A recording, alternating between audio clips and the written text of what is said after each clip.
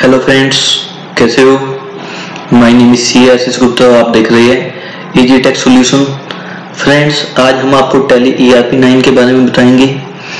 Tally ERP 9 में कैसे company create की जाती है, इसके अंदर कैसे लेजर को क्रिएट किया जाएगा, कैसे हम परचेज वाउचर्स को चढ़ाएँगे विद जीएसटी कैसे हम अपने सेल्स वाउचर को चढ़ाएँगे विद जीएसटी और फिर हम अपने फाइनेंशियल अकाउंट्स कैसे देख सकते हैं। ये सब हम आज केवल 20 मिनटों के अंदर समझ जाएँगे कंप्लीट फ्रेंड्स आगे चलने से पहले लेकिन मेरे चैनल को प्लीज़ सब्सक्राइब कर देना, क्योंकि हम अपनी नेक्स्ट वीडियो में इसमें हर एक टॉपिक के ऊपर डिटेल में वीडियो बनाएँगे, ताकि हम जब भी आपके पास नेक्स्ट वीडियो डालें तो आपके पास ये आसानी से पहुँच जाए। तो प्लीज़ आप मेरे चैनल को सब्सक्राइब करने के बाद जो ये यहाँ पे घंटे का बटन है, इस पे जो प्रेस कर देना, ताकि आपके पास इसके लिए नोटिफिकेशन भी पहुँच जाए। चलो फ्रेंड्स स्टार्ट करते हैं। फ्रेंड्स ये देखिए मेरे डेस्कटॉप पे है। Tally E R P nine ये मैंने टेली सोल्यूशन डॉट कॉम से डाउनलोड कर रखी है। इस पर हमने क्लिक किया। इसके लिए मैंने कोई फ़ी वगैरह नहीं पे कर रखी। तो ये हमने एस्केप पे क्लिक कर दिया। एस्केप पे क्लिक कर दिया। तो सबसे पहले जब भी आप Tally E R P nine खोलोगे और आपको नई कंपनी क्रिएट करनी पड़ती है तो हम क्रिएट कंपनी पे जाएँगे। अगर आपने ऑलरेडी कोई कंपनी बना रखी है तो आपको सिलेक्ट कंपनी पे क्लिक करना पड़ेगा। तो अब हम क्रिएट कंपनी पे क्लिक करते हैं। सबसे पहले यहाँ पे देखिए डायरेक्टरी कि जो आपका डाटा जो सेव होएगा, वो कहाँ पे सेव होएगा। अब मान लीजिए, मेरे को ये डाटा सेव करना अपने डेस्कटॉप पे। तो मैंने इसके अंदर यहाँ पे टेली नाइन का फोल्डर बना रखा है। तो हम राइट क्लिक करेंगे प्रॉपर्टीज़ पे जाएँगे लोकेशन पे जाएँगे और इसको हमने सिलेक्ट कर लिया। सिलेक्ट करने के बाद control plus C plus press किया। फिर हम टैली पे गए। और वहीं हमने खोली डायरेक्टरी पे control plus alt plus V ये हमने डायरेक्टरी दे दी कि जो हमारा डाटा है, वो कहाँ पे सेव होएगा। तो हमारा डाटा यहाँ पे सेव होएगा। फिर हमने कंपनी का नाम देना है। मान लीजिए आप जिस कंपनी में काम करने लगे तो है गुप्ता, आशीष एंड एसोसिएट्स ये हमारा कंपनी का नाम आ गया, जो मेलिंग नेम है, वो भी सेम रहेगा एड्रेस कहाँ की कंपनी है पानीपत की. कंट्री होगी हमारी इंडिया स्टेट जिस स्टेट में हमारी कंपनी है, वो स्टेट आ जाएगा, हरियाणा. पिन कोड आ जाएगा, उस जगह का. जैसे यहाँ का जो पिन कोड है, वो हमारा 132 103 है। फिर हमारी कंपनी का जो भी फ़ोन नंबर है, वो आ जाएगा। मोबाइल नंबर आ जाएगा। फैक्स है तो फैक्स नंबर आ जाएगा।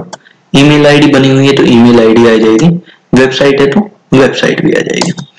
फिर हम जब से बुक स्टार्ट कर रहे हैं, हमारा जो फाइनेंशियल ईयर है, वो कब से स्टार्ट होता है?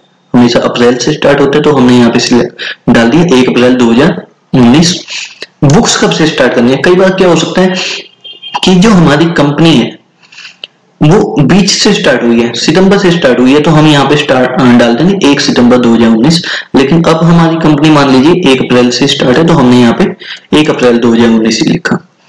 जो ये पासवर्ड है, ये हमारी सेफ्टी पॉइंट्स है कि अगर हम कोई पासवर्ड रखना चाहते हैं इस कंपनी को बनाने के लिए तो हम यहाँ पे पासवर्ड डाल सकते हैं। वही पासवर्ड हमें रिपीट करना है।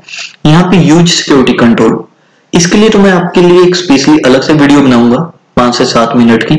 उसके अंदर मैं आपको समझाऊँगा कि हम ये टैली में, ताकि हमारी कंपनी में मान लीजिए कोई दस वर्कर्स है जो इस टैली पे काम करते हैं। तो आप ये देख सकते हैं कि किस किस वर्कर ने कितना कितना काम किया है तो उसके लिए ये फीचर एप्लीकेबल होती है। लेकिन फ़िलहाल मैं अभी नो रखूँगा, इसे मैं अलग से वीडियो में समझाऊँगा। ठीक है फ्रेंड्स तो ये हमारी कंपनी क्रिएट होगी। सबसे पहले हमने किया गया क्रिएट कंपनी पे क्लिक किया। तो हमारी बन गई है गुप्ता आशीष एंड एसोसिएट्स अब यहाँ पे देखिए आप, जो डेट ऑफ़ लास्ट एंट्री है, यहाँ पे दिखा रहा है नो वाउचर एंटर अभी तक क्योंकि कोई वाउचर एंटर नहीं हुआ। तो सबसे पहले हमने कंपनी क्रिएट करी। अब हम क्रिएट करेंगे लेजर लेजर किसके अंदर क्रिएट होते हैं? अकाउंट इन्फो में। अकाउंट इन्फो के अंदर हमारे लेजर क्रिएट होंगे तो हमने इसे एंटर कर दिया। फिर हम जाएँगे लेजर पे। लेजर के अंदर सिंगल लेजर एक एक करके लेजर क्रिएट कर सकते हो। अगर आपको ज़्यादा लेजर क्रिएट करना इकट्ठे तो मल्टीपल लेजर के अंदर भी कर सकते हो। मान लीजिए आपके पाँच ऐसी पार्टी है जिनसे आप माल बेचते हो, ठीक है? तो मल्टीपल लेजर में चली जाइए आप। अगर आपको एक सिंगल सिंगल पार्टी क्रिएट करनी है तो सिंगल लेजर के अंदर क्रिएट पर क्लिक किया हमने। मान लीजिए सबसे पहले तो हम कैपिटल जो प्रोपाइटर है, जो मालिक है, उसका खाता डाल देंगे यहाँ पे। तो इसके अंदर जो प्रोपाइटर है, मान लीजिए आशीष गुप्ता। तो हमने यहाँ पे आशीष गुप्ता उसके ब्रैकेट में लिख दिया ताकि समझ आ जाए कि ये कौन है। प्रोपाइटर कैपिटल अकाउंट तो इन्वेंट्री वैल्यूज़ तो अफेक्टेड होती ही हमने। यहाँ पे उसका एड्रेस डाला पेन नंबर है तो पेन नंबर डाला तो हमने इसे सेव कर दिया। सेव करने के लिए जो शॉर्टकट की है वो कंट्रोल प्लस ए है, उससे भी आप सेव कर सकते हो। फिर हमने उस कंपनी के अंदर क्या होएगा? परचेज भी होएगी सेल भी होएगी तो हमने यहाँ पे परचेज अकाउंट बना लिया। Under the head purchase accounts inventory value are affected yes type of ledger not applicable कर दीजिए आप. फ्रेंड्स अब जैसे मैंने यहाँ पे परचेज अकाउंट बनाया, आपने देखा, यहाँ पे जीएसटी की बात ही नहीं कर तो सबसे पहले हमने कंपनी क्रिएट करने के बाद, उस कंपनी की स्टेचू इन्फो डालनी होती है कि वो कंपनी का जीएसटी नंबर क्या है वेट नंबर क्या है, ये चीज़ें डालनी होती है। तो हम इसके लिए गेटवे ऑफ़ टेली में जाके F11 क्लिक करेंगे। F11 के बाद हम स्टेचुरी एंड टैक्सेशन के अंदर जाएँगे और यहाँ पे एनेबल जीएसटी पे यस करेंगे। Set oblique alter GST details yes करेंगे। तो ये सबसे पहले पूछते हैं कि स्टेट क्या है? किस कंपनी जो आपकी कंपनी है, वो कहाँ की है? तो हमने यहाँ पे डाल दिया हरियाणा रजिस्ट्रेशन टाइप वो रेगुलर डीलर है कंपोजिशन डीलर है। आप सब जानते हैं रेगुलर डीलर भी जो इनपुट लेते हो जो कंपोजिशन डीलर भी जो एक परसेंट टैक्स देते हैं अपनी सेल पे, उन्हें कोई इनपुट का बेनिफिट नहीं मिलता। इसके बारे में हम आपको जीएसटी की वीडियो जो हम डाल देंगे, उसमें समझ आ जाएगा। तो हमने यहाँ पे रेगुलर डीलर किया। SSC of other territory no GST number party का जीएसटी नंबर क्या मान लीजिए zero six A B C D E one two three four P one Z Y applicable from एक चार दो हज़ार उन्नीस। पीरियोडिसिटी ऑफ़ जीएसटी वन अगर कंपनी की टर्नओवर अगर कंपनी की टर्नओवर हमारी डेढ़ करोड़ से ऊपर की है तो जीएसटी वन मंथली जाएगी अगर डेढ़ करोड़ से कम है तो? क्वार्टर ली जाएगी। तो अब मान लेता हूँ मैं इसके अंदर टर्नओवर जो है हमारी डेढ़ करोड़ से ऊपर रहेगी। ई वे बिल एप्लीकेबल है उस स्टेट में? हाँ जी, है। हरियाणा में है, बिल्कुल है। एप्लीकेबल कब से एक अप्रैल 2019 से बिल्कुल है जी। कितनी वैल्यू से ऊपर के लिए? पचास हज़ार रुपए से ऊपर हमारी वैल्यू होगी तो हमें बनाना पड़ता है ई बिल बिल्कुल जी। तो क्या इंटर स्टेट मतलब कि अगर हम हरियाणा की हरियाणा में माल सेल कर रहे हैं तो क्या ईवी बिल बनाना पड़ता है? बिल्कुल बनाना पड़ता है जी अगर आपकी वैल्यू पचास हज़ार रुपए से ऊपर है। Enable tax liability on advance receipt friends जब जीएसटी आया था तो उसमें ये कहा गया था कि अगर कोई पार्टी एडवांस रिसिप्ट भी करती है तो भी उसे जीएसटी भरना पड़ता है। बेशक वो माल बाद में बेच रहा और सर्विसेज़ के केस में तो इवन एप्लीकेबल हो जाता है कई बार तो। कि जब हम एडवांस भी रिसीव करते हैं तो ही साथ के साथ जीएसटी भरना पड़ता है। लेकिन यहाँ पे हम गुड्स सेल करते हैं, माल बेचते हैं तो अब जीएसटी ने इसे बंद कर दिया कि अगर आप गुड्स बेच रहे हो आपको एडवांस रिसीव हुआ है तो आपको उसके ऊपर जीएसटी अभी भरने की ज़रूरत नहीं। जब आप गुड्स बेचोगे, तभी जीएसटी भरने की ज़रूरत है। तो अभी हमने इसे नो ही रखा। इसी तरह रिवर्स चार्ज के अंदर अगर हम लाइबल है टैक्स पे करने के लिए, अगर हम अनरजिस्टर्ड डीलर से परचेज करते हैं तो हमें रिवर्स चार्ज में टैक्स भरना पड़ता था, लेकिन फ़िलहाल अभी उस नोटिफिकेशन को जीएसटी ने स्टॉप कर रखा है तो अभी हम इसमें नो क्लिक करेंगे। Set oblique alter GST rate detail इसको हम नो रखेंगे, इसे अगर हम चेंज भी करना चाहते हैं तो बाद में कर सकते हैं, कोई दिक्कत नहीं है। Enable GST classification no provide LUT oblique bond detail ये एक्सपोर्टर के केस में एप्लीकेबल होता है, लेकिन जो ये पार्टी है एक्सपोर्टर नहीं है तो हम यहाँ पे नो क्लिक करेंगे ओके ठीक है फ्रेंड्स तो अब ये पूछता है कि एनेबल वेट वेट एप्लीकेबल नहीं है। जब जीएसटी आ चुका, वो तो केवल पेट्रोल पंप वगैरह वालों पे वेट एप्लीकेबल है। तो ये पार्टी जो है, पेट्रोल पंप नहीं है तो हम यहाँ पे नो करेंगे। एक्साइज नहीं रहा सर्विस टैक्स नहीं रहा। फिर आता है एनेबल टीडीएस अगर ये पार्टी टीडीएस डिडक्ट करती है और पार्टीज़ का, फिर हमें यहाँ पे यस करने की ज़रूरत है अदरवाइज़ नो रहेगा। इसी तरह अगर ये टीसीएस कलेक्ट करती है तो यस करना पड़ेगा अदरवाइज़ नो रहेगा। पार्टी का पेन नंबर डल जाएगा। इसी तरह अगर कोई कंपनी है रजिस्टर्ड कंपनी है प्राइवेट लिमिटेड या पब्लिक लिमिटेड कंपनी है तो यहाँ पे सी नंबर डल जाएगा अब हम यहाँ पे यस करेंगे। अब हम दोबारा देखेंगे हमने एक लेजर बनाया था परचेज का। अगर हमने उसे चेंज करना है तो हम अल्टर पे जाके चेंज कर सकते हैं। तो अब ये देखिए परचेज हमने आप ये देखो, चार लेजर बने हुए हैं इसके अंदर तो। जबकि हमने तो बनाए थे केवल दो ही यार। एक तो आशीष गुप्ता का, एक प्रॉफिट परचेज का। ये कैश और प्रॉफिट एंड लॉस काउंट कहाँ से आ गया। भाई, ये ऑलरेडी बिल्ट होते हैं। कोई भी कंपनी आप स्टार्ट करोगे टैली के अंदर तो ये ऑलरेडी दो लेजर बने हुए हैं। कैश और प्रॉफिट एंड लॉस काउंट इस कारण आपको ये दो लेजर बनाने की तो बिल्कुल भी ज़रूरत तो हम, हमने परचेज बनाया था। परचेज पे दोबारा क्लिक करके देखो। देखिए, यहाँ पे केवल पहले यहाँ तक आ रहा था। Purchase under purchase accounts inventory value जो अफेक्टेड टाइप ऑफ़ लेजर यहाँ तक आ रहा था। लेकिन अब आ गया ये हमारा जीएसटी एप्लीकेबल एप्लीकेबल है जी। Set oblique alter GST detail yes nature of transaction ये बतानी पड़ती है कि हमारी परचेज टैक्सेबल है एग्जेम्प्टेड है, क्या है? तो हमने यहाँ पे परचेज टैक्सेबल कर लिया। इंटीग्रेटेड टैक्स फाइव परसेंट मान लीजिए जो आइटम हम यहाँ पे एंटर करेंगे फाइव परसेंट वाली। फ्रेंड्स एक चीज़ और बताता हूँ। मान लीजिए आप किसी कंपनी में जा रहे हो, उसके अंदर जो आइटमें बेची जाती हैं, वो तीन टैक्स रेट की तो हम यहाँ पे बना लेंगे परचेज फाइव परसेंट परचेज बारह परसेंट परचेज अठारह परसेंट इसी तरह मान लीजिए किसी कंपनी में दो रेट किए तो उसी के हिसाब से हम परचेज पाँच परसेंट परचेज अठारह परसेंट बना लेंगे। मान लीजिए यहाँ पे भी चार आइटमें सेल करती हैं, जो अलग अलग टैक्स रेट के हो। पाँच परसेंट की भी, बारह परसेंट की भी, अठारह परसेंट की भी अठाईस परसेंट की। भी तो हम इसका नाम चेंज करते हैं। टाइप ऑफ़ सप्लाई गुड्स मान लीजिए अगर आपने इसमें कुछ भी चेंज करना है तो हम यहाँ पे एक्सेप्ट यस या नो का ऑप्शन है। लेकिन मैं कह रहा था, मैं अभी इसका क्या नाम कर दू? परचेज पाँच परसेंट। तो नो पे गए। Purchase five percent. तो मान लो, मेरे को ये बीच में सेव करना है तो मैं कंट्रोल प्लस ए के साथ कंट्रोल प्लस ए प्रेस करूँगा यहीं की यहीं सेव हो जाएगा, मेरे को नीचे तक जाने की ज़रूरत नहीं है।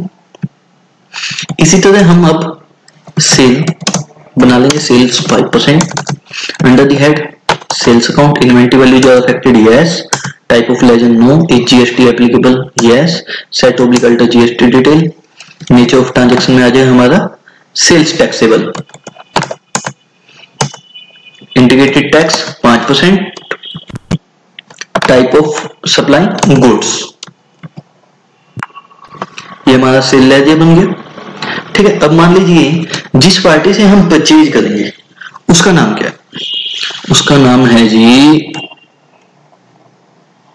सिंगला एंड कंपनी नाम बनाया अंडर दी हेड परचेज करते हैं तो क्रेडिटर्स में जाएगा sundry creditors maintain balance is bill by bill इसका क्या मीन्स है मान लीजिए कि एक पार्टी है जिसे हमने परचेज कर चालीस हज़ार रुपए का। उसको हमने तीस हज़ार रुपए की पेमेंट कर दी उस बिल के अगेंस्ट। तो हमने अगर ये देखना हो कि उस बिल के अगेंस्ट कितनी पेमेंट करी है तो maintain balance bill by bill पे करना पड़ेगा। अदरवाइज़ हमें बस खाली यही देखना कि कितना बैलेंस चलता रहा है। हमें पार्टिकुलर ट्रांजेक्शन का कोई रिकॉर्ड नहीं रखना कि किस बिल के अगेंस्ट कितने की पेमेंट हो गई है, कितना पेंडिंग है। ठीक है तो हम नो पे क्लिक करेंगे। नॉर्मली नो ही रखिए आप। Inventory value are affected yes otherwise आपकी वो एंट्री नहीं होने देगा। सिंगल एंड कंपनी हरियाणा की पार्टी है। यहाँ पे हमने उसका जीएसटी नंबर दे देंगे।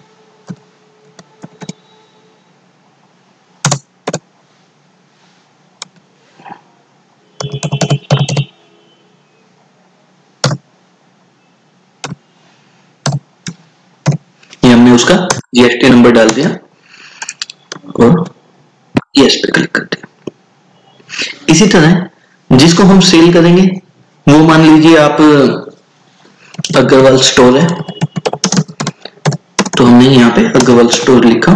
Under head sundry debtors maintain balance bill by bill no inventory value जो affected yes Agarwal store India Haryana pin code आ जाएगा। बैंक डिटेल डालना चाहते हो तो वो डाल दीजिए। रजिस्ट्रेशन टाइप रेगुलर डीलर है। ये सबसे इंपॉर्टेंट चीज़ मैं बताना भूल गया आपको। रजिस्ट्रेशन टाइप सामने वाली पार्टी कौन है रेगुलर डीलर है।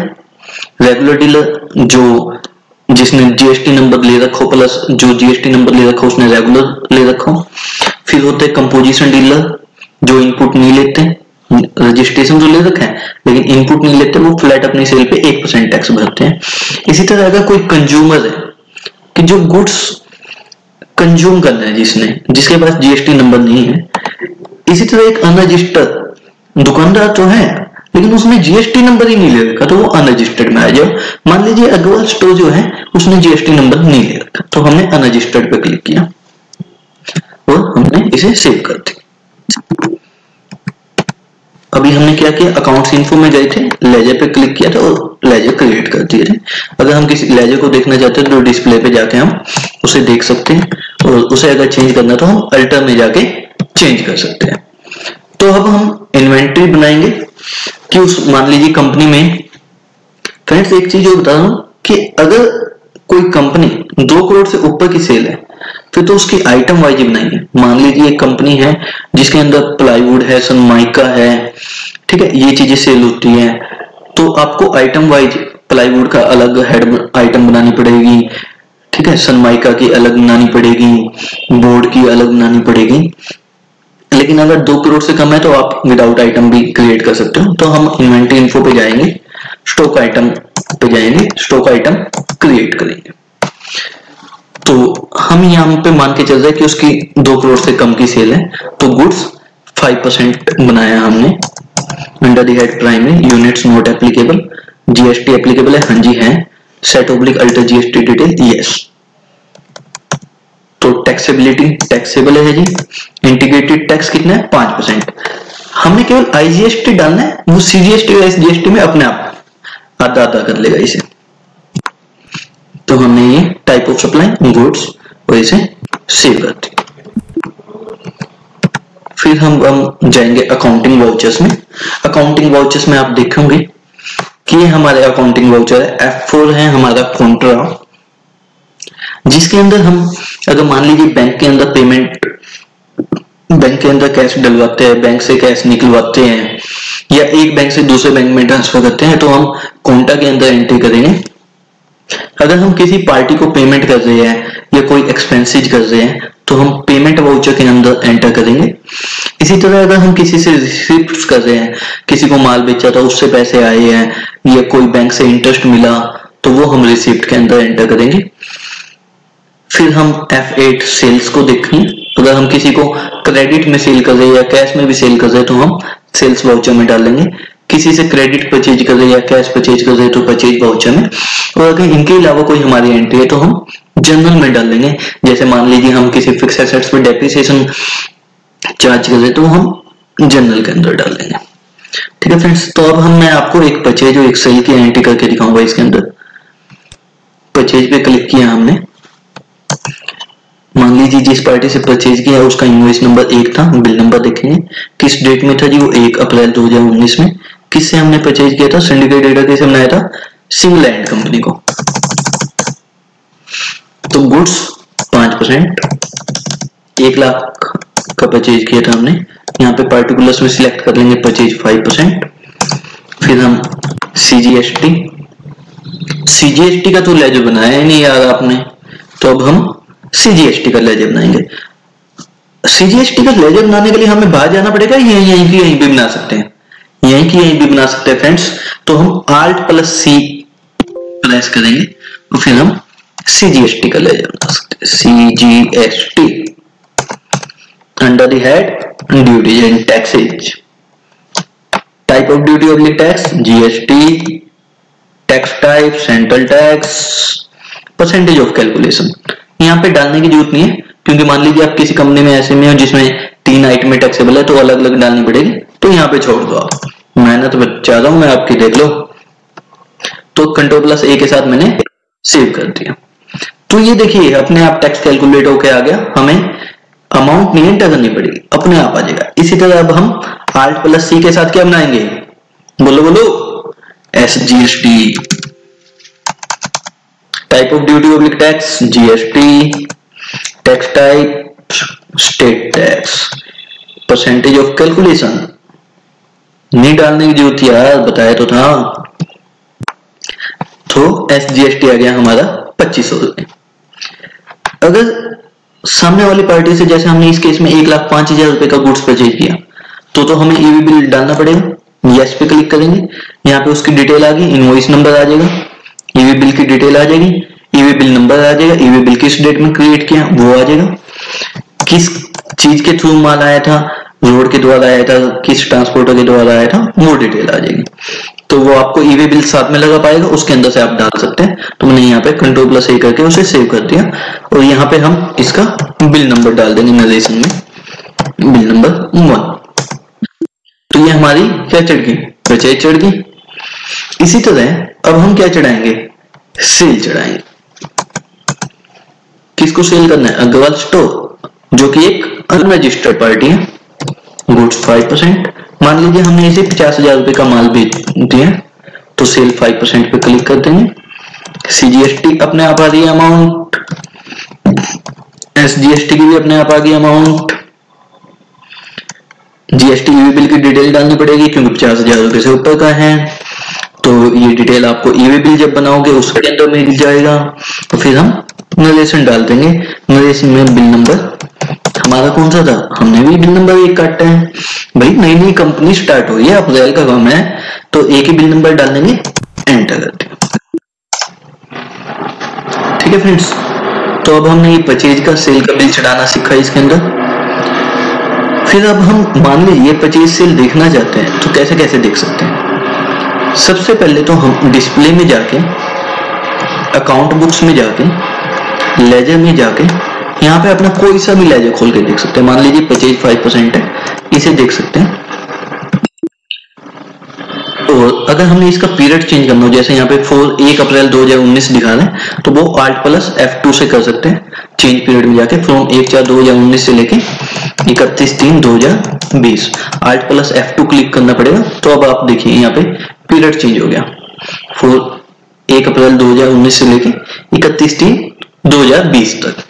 इसी तरह हम मान लीजिए सिंगल एंड कंपनी का लेजर खोलना चाहते हो तो एंटर किया यहाँ पे देखो फोर एक, चार, दो हज़ार उन्नीस आ रहा है। अगर हमने पीरियड चेंज करना है तो क्या दबाएँगे? आल्ट प्लस एफ़ टू तो फ्रॉम एक, चार, दो हज़ार उन्नीस से लेके इकतीस, तीन, दो हज़ार बीस तक। तो ये हमने सिंगल एंड कंपनी का लेजर देख लिया। कितने दिन है इसके? एक लाख पाँच हज़ार रुपए। ये देखिए, एक लाख पाँच हज़ार रुपए देने दे देंगे यार कौन सा बात दी जा रही है? हम्म? इसी तरह अगर हमने प्रॉफिट एंड लॉस काउंट देखना है तो हम प्रॉफिट एंड लॉस काउंट पे एंटर करेंगे। आल्ट प्लस एफ़ वन से डिटेल्ड में खुल जाता है। डिटेल्ड में। तो इसके अंदर हमने परचेज देख ली, एक लाख रुपए की होगी सेल होगी हमारी पचास हज़ार रुपए की स्टॉक कितना बच रहा है? पचास हज़ार रुपए का बच रहा है। फ्रेंड्स प्रैक्टिकल लाइफ में एक चीज़ बताइए। स्टॉक। हमें आइडिया होता है कि हमारी दुकान में कितना है। एक्यूरेट तो या तो हमने आइटम वाइज बिल्कुल स्टॉक क्रिएट कर रखा हो तब पता चलेगा। ठीक है? क्योंकि इसके अंदर तो देखिए, पचास हज़ार रुपए की जो सेल है, इसके अंदर प्रॉफिट भी तो इंक्लूड था। ठीक है? तो हमने मान लीजिए स्टॉक चेंज करना है कि क्लोजिंग स्टॉक हमारे पास इकतीस तीन दो हज़ार बीस में कितना बच गया तो हमें इसको चेंज करना पड़ेगा। तो वो कैसे करेंगे? हम जाएँगे इन्वेंट्री वाउचर्स में एंटर करेंगे। फ़िज़िकल स्टॉक पे ऑल प्लस एफ़ टेन में जाएँगे। इकतीस तीन दो हज़ार बीस। गुड्स फाइव परसेंट वाला मैं मान के चलता हूँ, मान लो मेरे पास पचपन हज़ार रुपये बचा हुआ है। तो मैंने यहाँ पे अमाउंट एंटर करी कंटो प्लस ए के साथ इसे सेव कर दिया। प्रॉफिट एंड लॉस काउंट में आप जाके देखो आप इसे। तो अब आपका स्टॉक कितना आ गया? पचपन हज़ार रुपए प्रॉफिट कितना दिखा रहा है? पाँच हज़ार रुपए ठीक है फ्रेंड्स बाकी आप मेरे चैनल को ज़रूर से ज़रूर सब्सक्राइब करना ताकि जो मैं नेक्स्ट वीडियो बनाने वाला हूँ, बहुत ही इंटरेस्टिंग वीडियो होने वाली है। क्योंकि अब मैं आपको हर टॉपिक के बारे में टेली ईआरपी नाइन में डिटेल में समझाऊँगा। ठीक है फ्रेंड्स थैंक यू